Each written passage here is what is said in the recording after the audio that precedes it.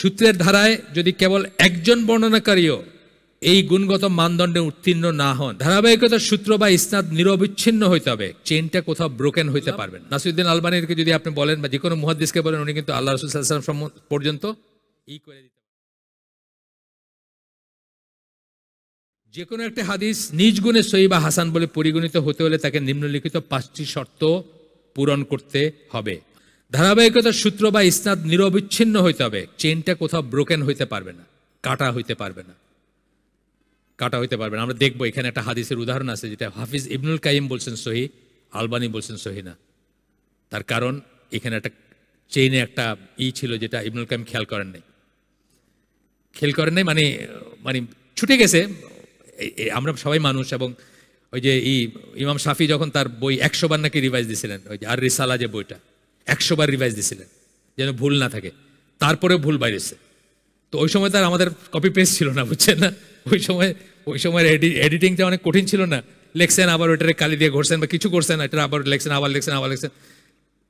একশো বার বলা হয়, হয়তো একশো নাও হইতে পারে মানে এটা একটা ফিগার হিসাবে বলা হয়। পাবেন, এটা দলিল পাবেন, এটার বর্ণনা পাবেন। তারপরে নাকি উনি বলছেন যে, আল্লাহ চান না, তার কিতাব ছাড়া আর কোনো কিতাব নির্ভুল হোক। নাইলে আমি যেভাবে দেখছি এটাকে, এটাতে ভুল থাকার কথা না, তথাপি ভুল আছে। উইচ ইজ ট্রু আপনি দেখবেন একদম বেস্ট পাবলিশারের বই যেটা আপনার আমার চোখে পড়বে না, আপনি একটা, আরেকটা পাবলিশার যারা এই কাজ করে, তারা তো দিবে তো দশটা ভুল দেখা দিবে আপনার। আপনি বলবেন, এখানে এটা ছুটে গেছে, ওটা হয়ে গেছে, এখানে গ্যাপ নাই, ওইখানে কাটায় কাটতে গিয়ে এরকম ব্যাগে করে কাটছে। কত ভুল দেখায় দিবে আপনি আপনার আমার কাছে চমৎকৃত হয়ে যাবে, আপনার কত সুন্দর বই। তো এরকম আর কি ব্যাপারটা।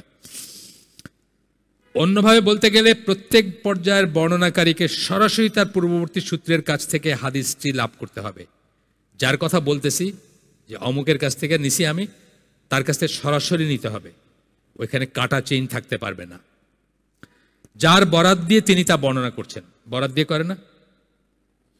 আবদুল্লাহ ইবনে মাসুদ রাজিয়াল্লাহু বললেন, তাহলে আমি যখন যিনি বলছেন আবদুল্লাহ ইবনে মাসুদ রাজি রাজিয়াল্লাহু বললেন, যে রাসূল ওয়াসাল্লাম বলেন ওনার কাছ থেকে ডিরেক্টলি শুনতে হবে যিনি বলতেছেন। যদি না শুনে থাকেন, তাহলে চেন কাটা হয়ে গেল।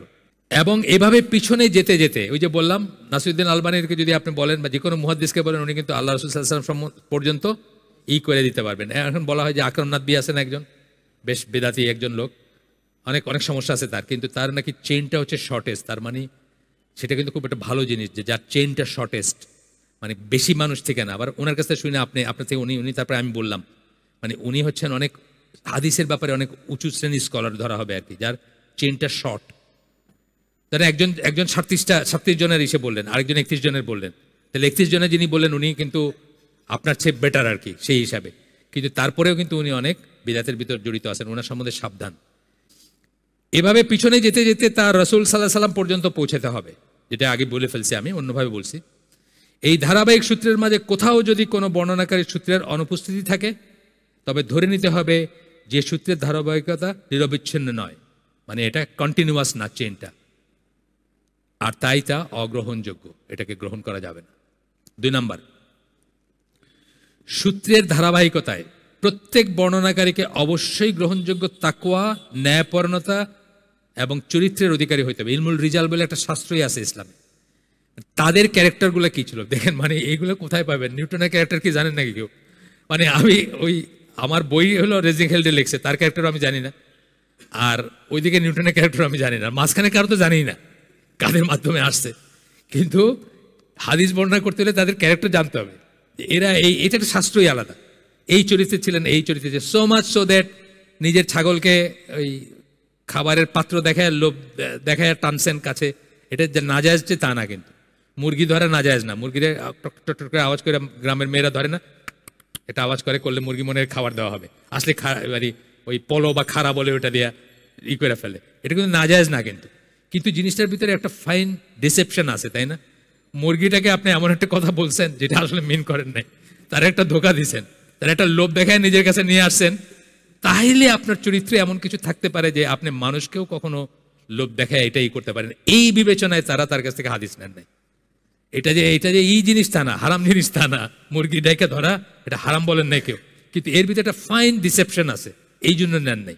তাহলে তার চরিত্রের কি বললাম? দৃঢ় চরিত্রের অধিকারী হইতে হবে তাকে, গ্রহণযোগ্য তাকুয়া নেয়াপরতা চরিত্রের অধিকারী হতে হবে। অন্য কথায়, প্রত্যেক বর্ণনাকারীকে নৈতিক দিক দিয়ে অবশ্যই সুস্থ হইতে হবে।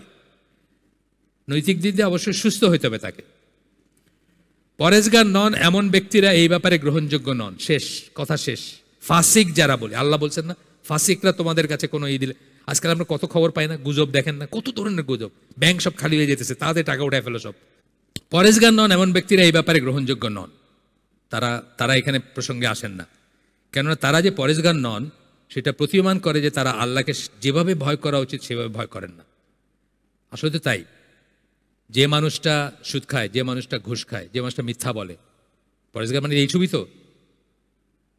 সে কেন এটা করতে পারতেছে? সে আল্লাহকে যেমনভাবে ভয় করা উচিত, তেমনভাবে ভয় করে না। ইয়া আয়ু হাল্লাজিনা আমানুত্তাকুল্লাহ হাক্কা তুকাতিহি ওয়ালা তামুতুন্না ইল্লা ওয়ান্তুম মুসলিমুন। সেভাবে সে ভয় করে না যেভাবে ভয় করা উচিত। আর তাই নবী এর বক্তব্য সময় বর্ণনা করার ব্যাপারে তারা যে চূড়ান্ত যত্নশীল হবেনি সে ব্যাপারে তাদের উপর আস্থা রাখা যায় না। আল্লাহকে যে ভয় করে না, নবীরটা সে কি পাত্তা দিবে? বা দিলেও ওইভাবে দিবে কিনা? নবী যে বলছেন যে আমার নামে বানায় যে কথা বলবে যে জাহান নামে তার আসন ই করে নেবে। আমি জাস্ট ইটা বললাম সামারিটা বললাম হাদিসের। বলছেন না? জাহান নামে তার আসন বানায় নেবে। যে আল্লাহরে ভয় করে না, সে জাহান্নামও ভয় করে না। সে এই আর রসুল বলছেন, দেখে, এটারে আর কি পাত্তা দিবে?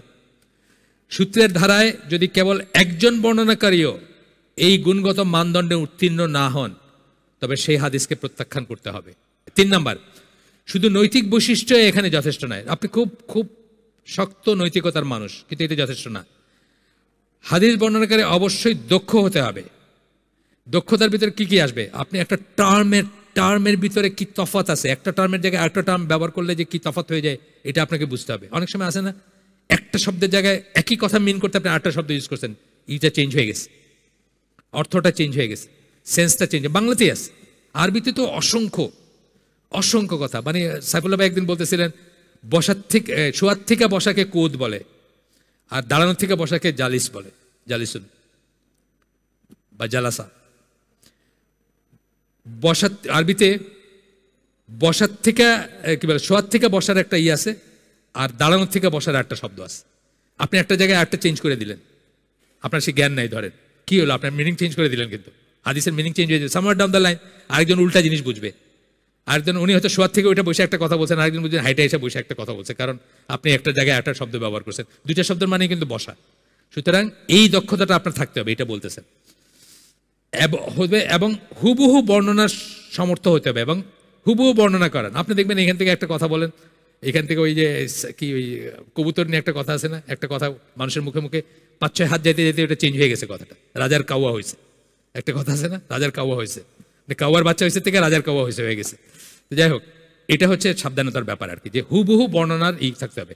অ্যারাবদের এটা ছিল ট্র্যাডিশনালি ছিল। হামজা ইউসুফের হামজা ইউসুফের কথা বলতেছি উনি অন্য লাইনের স্কলার আমাদের স্কলার না, যাই হোক, কিন্তু ওনার, ওনাকে আমি ইসলামী ওয়ার্ল্ডের এক নম্বর স্পিকার মনে করি ইংলিশে আর ইংলিশে এক নম্বর স্পিকার উনি।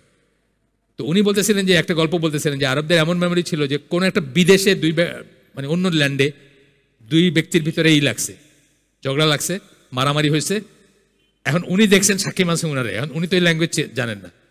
উনি ওইটা পুরাটা ডেসক্রাইব করে দিলেন, এখানে দাঁড়ায় একবার, ওইখানে দাঁড়ায় একবার। মানে এটা বলছে, ওইটা বলছে, এইটা বলছে, ওইটা বলছে। একটা শব্দ না জানেন না একটা শব্দ বুঝেন না। কিন্তু পুরাটা ডেসক্রাইব করে দিলেন। এই ধরনের মেমোরি মানুষকেই, মানুষের মাঝে কোরআন নাজিল করা হয়েছে যেন তারা এটা প্রিজার্ভ করতে পারে। আপনার ওইখানে যে আয়সা রাদিয়াল্লাহু আনহা বা এরকমের যারা ছিলেন, তারা একেবারে তাদের ওই ইব্রাহিম আলাহ সাল্লাম পর্যন্ত তাদের চেইন বলতে পারতেন। কীভাবে তারা আসছেন, তাদের চেইনটা ফ্যামিলি চেন বলতে পারতেন। মানে এত মেমোরি ছিল তাদের আর। তো এই জন্যই তাদের ভিতরে কোরআন নাজিল হয়েছে। হামজা ইউসুফ এটা বলতেছিল একটা ইসে। গল্পটা ইসের গল্প মানে মরিতানিয়াতে উনি তো মানে পড়াশোনা করছেন মরিতানিয়ায়, ছয় বছর ছিলেন ওইখানে। তাবুতে থেকে পড়া খুব হার্স জীবন পড়াশোনা করছেন ওস্তাদের কাছে। তো উনি বলতেছিলেন যে ওইখানে শুনছেন যে মানে এ এটা বলছে, আবার বি এটা বলছে। ধরেন একজন একজন ফ্রেঞ্চ যে বাংলা জানে না, সে বলতেছে যে আমি এটা বলছি, আরেকজন এটা বলছে। আমি এটা বলছি, আরেকজন এটা বলছে। ওইটা দিয়ে বিচার হয়েছে আর কি তাদের। সাক্ষী হলো উনি একা। এইরকম মেমোরি ছিল তাদের।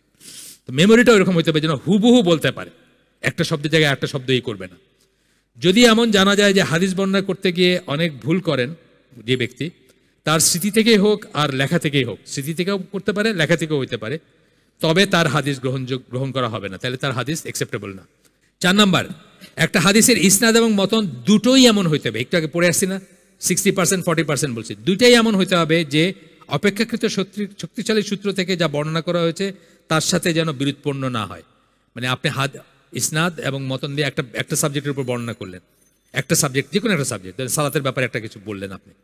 কিন্তু আরও অনেক শক্তিশালী ব্যাপারে আরও অনেক শক্তিশালী ইসনাদ এবং সনদ আছে যে হাদিসের, সেটাই দেখা যাচ্ছে যে আপনার কথাগুলোকে কন্ট্রাডিক্ট করতেছে। তাইলে আপনার এটা গ্রহণযোগ্য হবে না। কারণ ওটার ই শক্তিশালী। ওটার ইসনাদ শক্তিশালী, ওটার মতন আরও আরও কারেক্ট মনে হচ্ছে। কিন্তু আপনার এটা একটু উইক মনে হচ্ছে বা এটার ইসনাদে একটু গড়বড় আছে। যে একজন বললেন যে একজনের, দেখবেন অনেক হাদিসে এইটা বলছেন নাকি এটা বলছেন? উনি শিওর না, এরকম আছে কিন্তু হাদিসের বর্ণনা। অথবা এইরকম বলছেন, ঠিক শিওর না, এরকম বলছেন। এইরকম একটা হাদিস, সেই হাদিসই ধরতেছেন এটাকে। কিন্তু যদি এর এগেনস্টে এর অপেক্ষাকৃত এই বেটার বেটার কিছু পাওয়া যায়, তাহলে আপনি কিন্তু আর এটাকে, এটা যদি বৈপরীত্য থাকে, যদি অ্যালাইন থাকে, কোনো সমস্যা নেই। বৈপরীত্য থাকলে এটা বাদ হয়ে যাবে। পাঁচ নাম্বার পয়েন্ট এটা পরে আমরা শেষ করে দিচ্ছি। যখন নানাভাবে পর্যবেক্ষণ করার পরে একটা হাদিস বর্ণনা করা হয় তখন ব্যাপারটা এমন যে ওই হাদিসের ইসনাদ বা মতনে কোনো ভুলভ্রান্তি বা খুঁত দেখা যায় না। এটাও একটা শর্ত। পরীক্ষা করছেন, কইরা তারপরে যেন আর ভুলভ্রান্তি না থাকে। ওই যে মুয়াদ বিন জাবলের যে হাদিসটা, হিমসের অধিবাসীদের থেকে বর্ণিত। হিমসের অধিবাসীরা বলেন নাই যে তারা মুয়াদ বিন জাবলের মুখে শুনছেন এটা। এইটা বলেন নাই। তারা থেকে শুনছেন এটার বর্ণনা নাই? হাফিজ ইবনুল কাইমের সহি বলে পাস করে গেছেন। কিন্তু নাসুদ্দিন আলবানি বলছেন যে এটা সহি হাদিস না। বিকজ এই এই দুর্বলতার জন্য। তাইলে কি একবার সহি বলে ফেলছেন আপনি? সব বিচারে পাঁচ নম্বর পয়েন্টে চলে আসছেন এখন। পাঁচ নম্বর পয়েন্টে এসে দেখলেন যে এই ত্রুটি আছে, তাইলে আর এটা গ্রহণযোগ্য না।